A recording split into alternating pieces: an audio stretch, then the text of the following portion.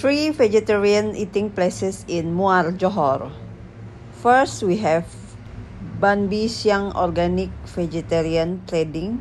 This place is just a stone throw away from Witex Palette, which is mall in Muar. Apart from the restaurant, they also sell many vegetarian items like mushroom bakwa, tausapia. The restaurant is buffet style, yeah, so it's a self-service for two plates of rice and mixed veggie and two drinks. It costs 15 ringgit. When we go there at lunchtime, I notice a lot of office worker eating, having lunch here.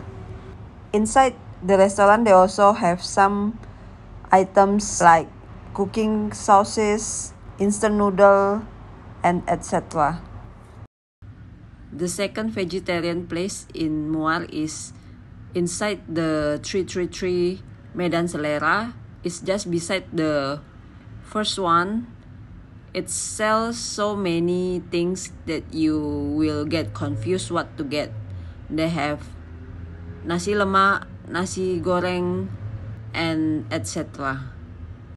This is the nasi lemak and it costs 8 ringgit. So the restaurant is quite unique ya, Nan Putwo. The location is rather unique. You see, uh, entrance from this side.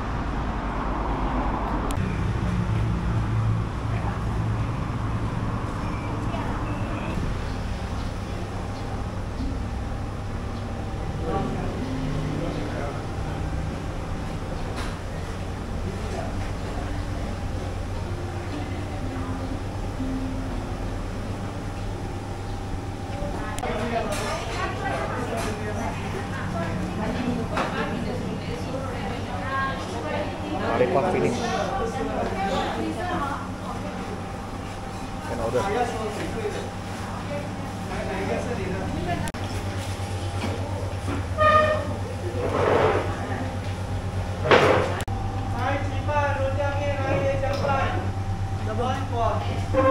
Finally arrived at the eating place. Let's try the mushroom Eat, don't throw. How is it? Nice or not? Nice but a bit hard. This one, yeah,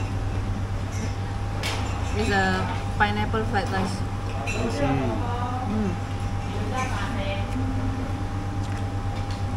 This one look like chicken drumstick. Ah, mock chicken. Veggie and tempeh.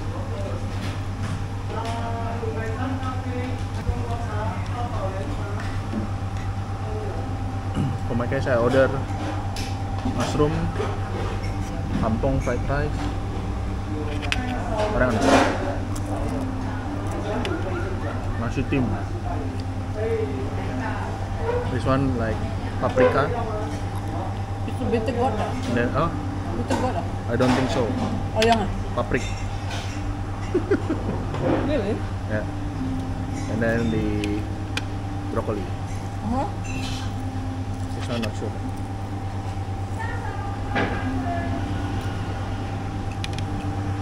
Spicy one. Hmm? Spicy one. Spicy. Not that spicy, but spicy. One enak. Nice. This one nice. Mm. Salty. Order coffee. This one what? Black tea. Lohan tua. Rohan. Enjoy.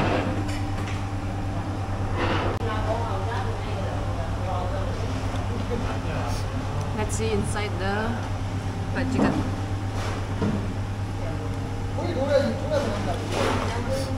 So actually it's tofu. Looks like chicken.